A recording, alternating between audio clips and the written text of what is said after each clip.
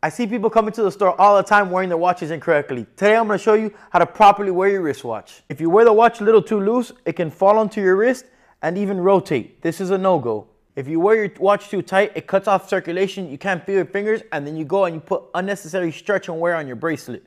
This is the perfect way to wear your wristwatch. As you can see, the watch no longer falls on my wrist. I can force a finger in between to give me enough room. And most importantly, you don't limit wrist movements. so you can do push-ups with your watch on.